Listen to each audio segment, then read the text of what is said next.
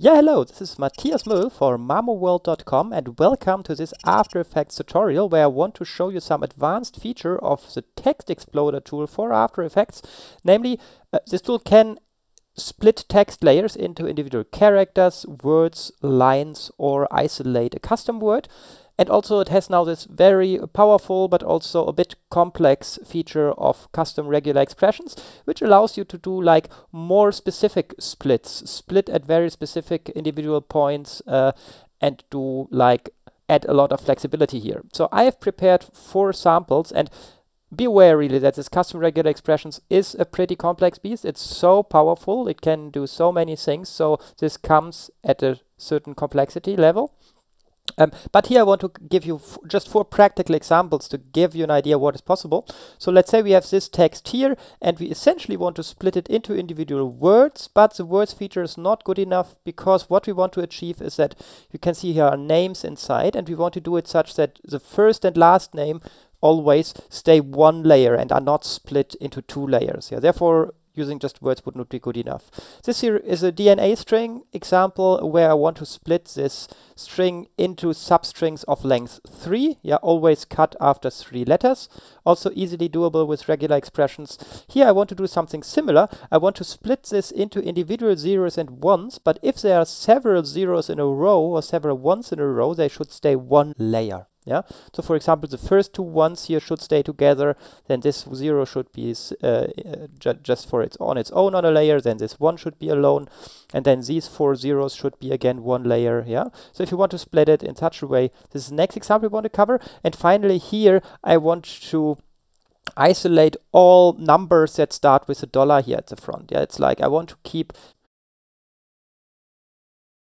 an individual word or an individual uh, layer. So this uh, dollar number here, an individual one, but each other word should not be an individual layer. And also this 2017, for example, should not be a layer. So you can be so precise with uh, irregular expressions to control exactly where to split your uh, layers.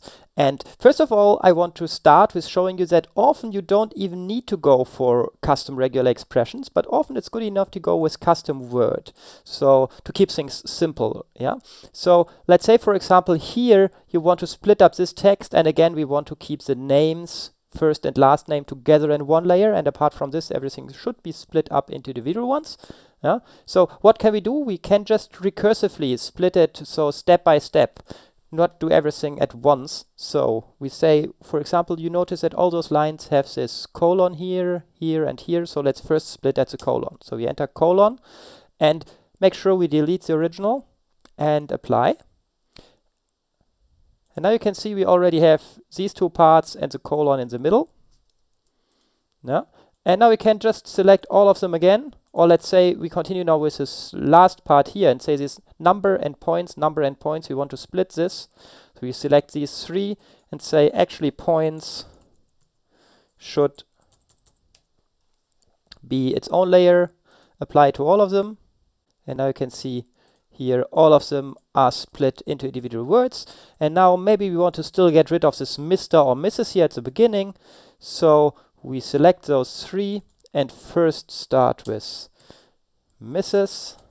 And on those that have not a Mrs. like this Mr. here, this layer, it just will do nothing, so it doesn't hurt to have it also selected.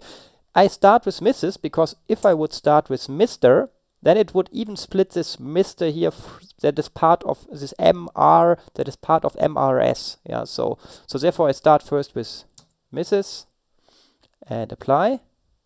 You can see this one is isolated and this one too. And now finally I go here and say this Mr. should be isolated too. apply.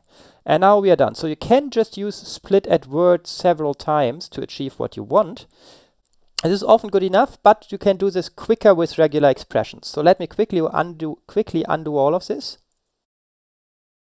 And with a regular expression, you can actually do all those splits at the same time. You can say, if you find a Mrs., then you want to split at this point. If you don't find a Mrs., Mrs., so you say or, this is this vertical bar means or, yeah. Mr. is also something that I want to have isolated, or I want to have the colon, or I want to have points. These are essentially all those splits that we did before. Yeah, uh, and so you just select it, click apply, and let the tool do its job. And in just one run of the tool, you can see everything here is isolated as we expected. Yeah.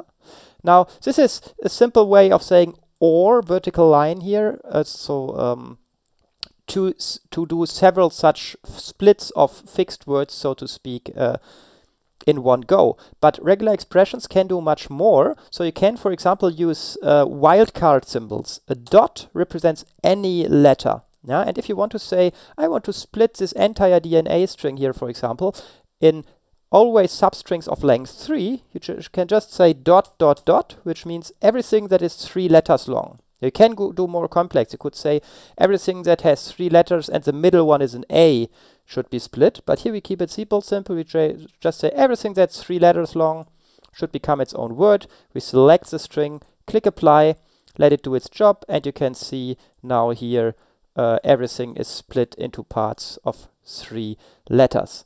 Yeah.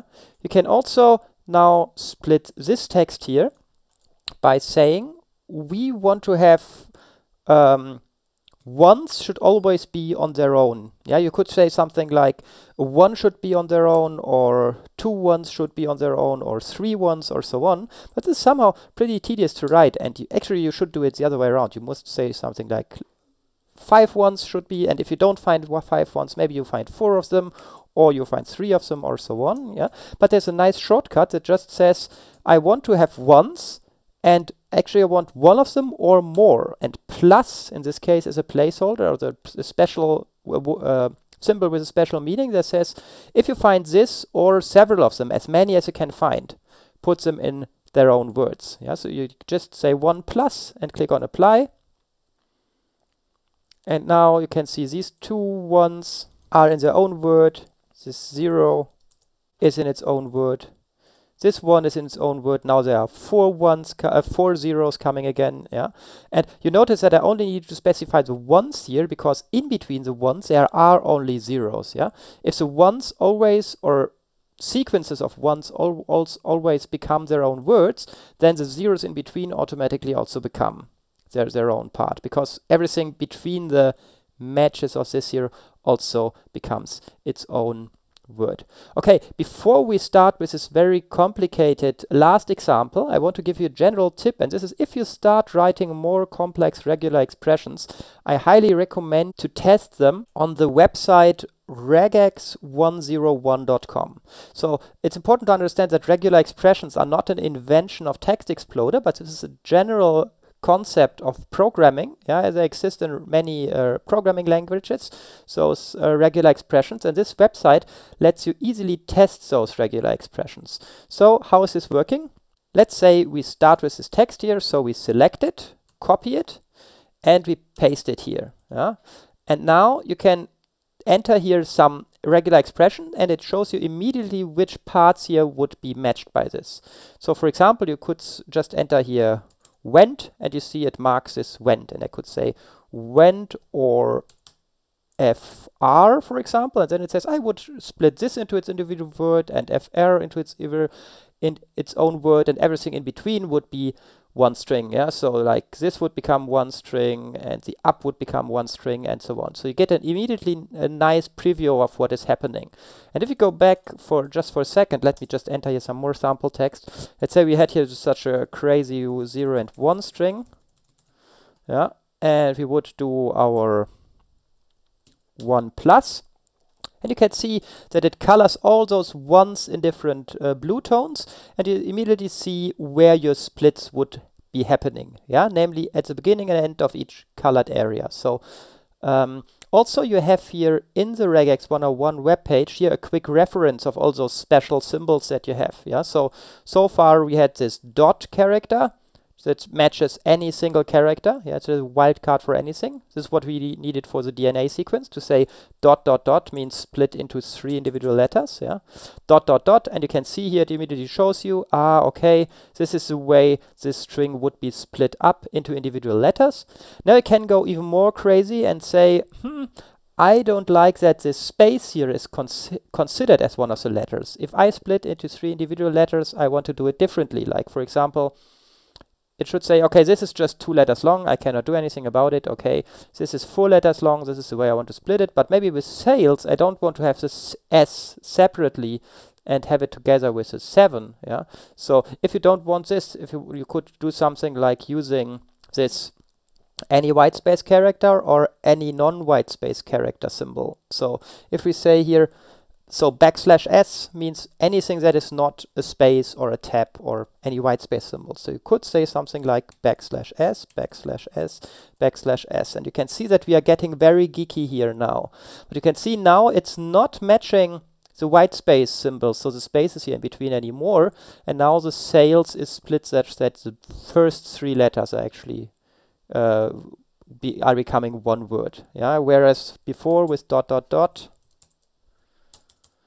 you can see the sales was split differently. So you have very high level control here of what is happening by specifying those pattern. And again, dot means any character, backslash big S means anything that is not white space, backslash lowercase s means anything that is white space, and we also have here any digit. Yeah, so this may be very nice for, for what we need if we want to isolate those numbers here. We want to uh, isolate this $100,000 and 200 blah blah thousand dollars.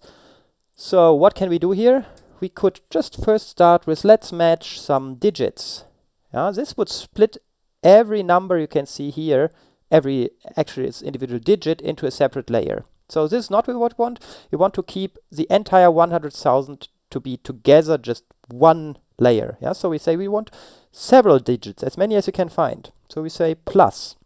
Now you can see, okay, it will group these three, three numbers together and these three, but not yet the dot in the middle. Yeah, so we want to also allow dots. So what we now have, we don't have here such a special abbreviation for digits and dots or something like this, but what we can use are these uh, ABC in brackets, in square brackets thing here. Yeah, this is a single character of ABC.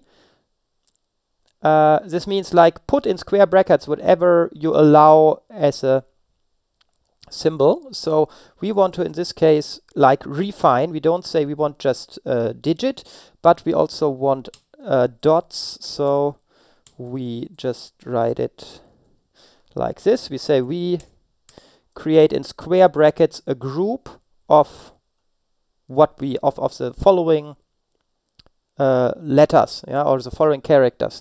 We either want to have a digit or we want to have a dot. Yeah? And now we do not want to have just one of this, but we want to have plus as many as we can find. Yeah? So again, what is happening here? Actually here on the right, you always find a nice explanation of what is happening. Yeah? The, this orange part is a group of letters that we want to accept. And it says either it is a digit or it is a dot. So really a dot. Not, in this case, dot is not a placeholder because it's inside of those square brackets. Yeah. Outside it would mean match anything. Inside it would mean just a dot. And I explained you before that this tutorial could get a little bit geeky, but I still hope you are able to follow or at least get how powerful this system here is. Yeah. So this is not yet 100% what we want because first the dollar is not included in our match. So the dollar would still be part of the other layer outside. And also this 2017 here, which has no dollar at the beginning, would also be isolated. And we said we only want to uh, isolate these dollar numbers here. So how can we refine this? We can say, okay, at the very beginning of this, there should also be a dollar. Yeah. Now, strangely enough, there is no um, match anymore. And let's take a look at our explanation here. This explanation says dollar asserts that position is at the end of the string or before the line terminator, blah, blah. So what this tells you is that dollar seems to have a special meaning because it's not saying dollar just matches the dollar sign literally. Yeah. So if we put put here an A, it says A matches the character A literally. And no, for dollar this does not seem to be the case. And this is because dollar has a special meaning. You find it here in this list of stuff that has a special meaning. So to say we really want to have the dollar and not the thing with a special meaning, we need to put a backslash in front of it. This whenever you need to, like also if you want to say, I want to match a dot, I want to match a plus, whatever has a special meaning here, you can put a backslash before it and then it's ignored. Yeah, so then it's considered just, just the symbol. So here it also explains now, backslash dollar matches the character dollar literally. And now we actually have here what we wanted, yeah? So now this will become its own layer, this will become its own layer, and the rest stays one string without splitting it any further. Yeah. And again, this is a really, really complex example, and I just want to show you how really powerful it is. And of course, if you would have just a string with those two numbers to isolate, it would be much faster to go for split or isolate individual word and first isolate this number and then isolate this number, and that's it. But if you have a text of let's like, I don't know, 100 such numbers or so, developing such a regular expression with the help of regex 101 com would be maybe a very elegant solution. So we just copy this string that is now exactly the one we want, go back here, enter this into as regular expressions into Text Exploder. We select our layer, click apply, and you can see the result is as expected. This is its own layer, this is its, its own layer, and here this part uh, stays one layer. Okay, I hope all of this was not too confusing. Again, the very simple applications of sp splitting re uh, in regular expressions is just using this OR symbol to do like several, essentially several custom word splits as one. These wildcard characters with like dot dot dot to split into three individual letters is also, I guess, pretty useful sometimes. And all this very advanced stuff, I understand if this is pretty geeky. Yeah, you don't really need it a lot, I guess, but whenever you have a complex text to split and splitting it manually or with just a custom word would be very tedious, I think it can, can really be a lifesaver. Last note, maybe these regular expressions have nothing to do with the expressions language of After Effects itself. Yeah, this is just by accident having the same name. So regular expressions are a concept of programming and describe like what regex 101 is about this ability to specify substrings into long strings with these strange but very, very powerful patterns here. Okay, that's it for this tutorial. I hope you get a good idea now what those custom regular expressions are about. Again, to learn them, I highly recommend just to play with regex 101, see here what is happening, reading this explanation here, and reading uh, those this quick reference here. I hope this gets you started. And yeah, again, this is Matthias from mamoworld.com, and I'm looking to forward to see you in the next tutorial.